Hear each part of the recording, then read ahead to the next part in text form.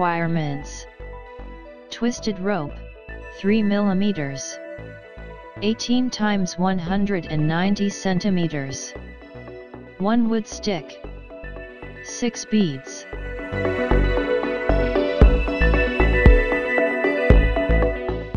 At first make lark's head knots as shown.